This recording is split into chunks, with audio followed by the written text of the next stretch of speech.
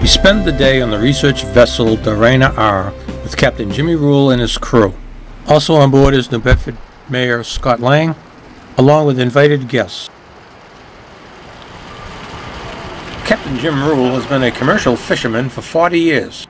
He serves as a chair for the Trawl Survey Committee and as a voting member of the Mid-Atlantic Fishery Management Council, and also is the president of the Commercial Fishermen of America.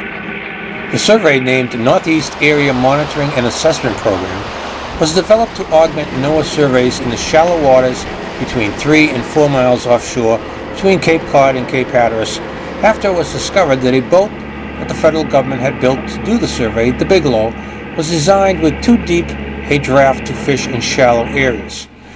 The government's mistake, along with the faulty data of another NOAA boat, the Albatross, which fishermen called Trawlgate, has been the fishermen's gain.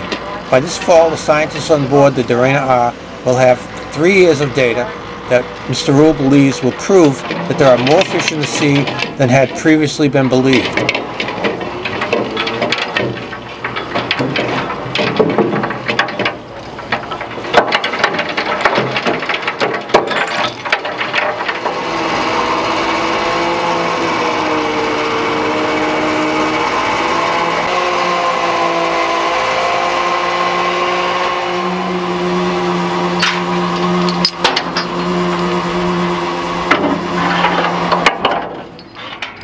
Now you see the doors going over the side, which will help keep the net spread out.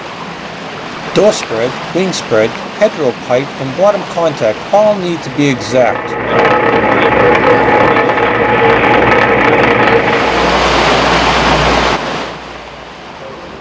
Mayor Scott Lang is briefed by Captain Jimmy Ruhle on the current operations. Just uh, came out of New Bedford. And where that little symbol is on the bottom. The doors are on the bottom. And the, the opening of the net is only 43 feet between wide, 43 feet wide, but 17 feet high. And, and we're, we're, that's the path that we're covering right now. And what they'll do is calculate back. They'll take the catch. And it'll be basically, we're doing three, three knots, 3.1, three knots. So at 20 minutes, we'll cover one mile. My job is not to find fish. My job is to make sure that that gear performs consistently. I, I want the net has to do exactly what it's supposed to do and behave like it's supposed to. If I tear it up, I fix it, you know, and I can recognize if something's wrong with it. But I'm not fishing per se because I have to go where the computer tells me to go. It's uh, wireless uh, acoustic sensors, and basically what they do is they give us a near real-time picture of, of how our net is fishing, the geometry of our gear. Um, we have a, a, headline sensor, so a, a sensor mounted on a, basically the top rope of the net gives us an idea of how how high the that line is off the bottom. Uh, we have a sensor on each of the wings of the net. It gives us a distance measurement between the wings. Right now we're at 13.2 meters. Uh, we also have uh, similar sensors, spread sensors on the doors uh, that tell us that right now we're 31.9 meters of spread on our doors. Uh, we have a bottom contact sensor on the sweep, um, and then we also have a catch sensor, uh, which we have set to trip when we catch, uh, when we get to about 5,000 pounds of, of catch in the cod end. Um, just basically tells us we're going to be busy. Currently, it's anywhere between 5 and I think 12 seconds we get an update from each one of them. After a 20 minute tow, the net is brought back in.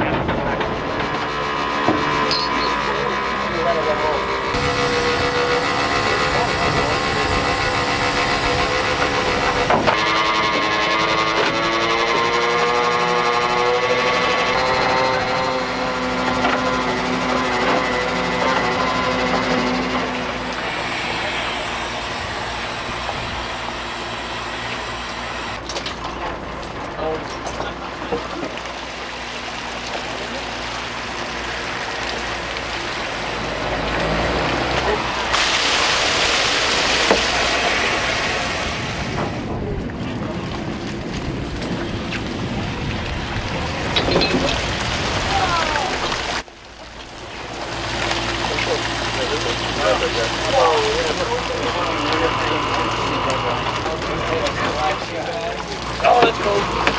Oh, yeah, there it is. He's trying to go after. Scientists from the Virginia Institute of Marine Science help to collect, identify, and catalog each and every ocean species.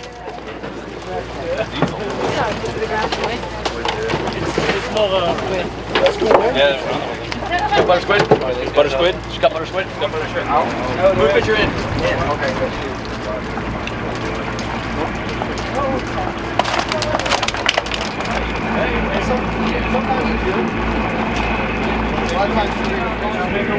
If you listen to it, you can hear that one thing.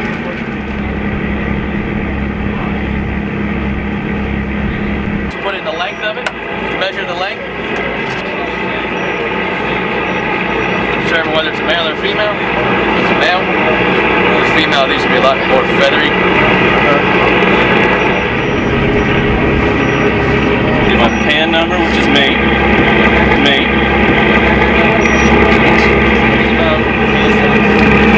Seven pounds, eight pounds. Alright, he's all set. You want to throw him back in? Yeah. Alright. He's going to thrash. Throw him right over. There you go. Swim away? There you go. Nice job. Swim away or no? We now begin our journey back into port.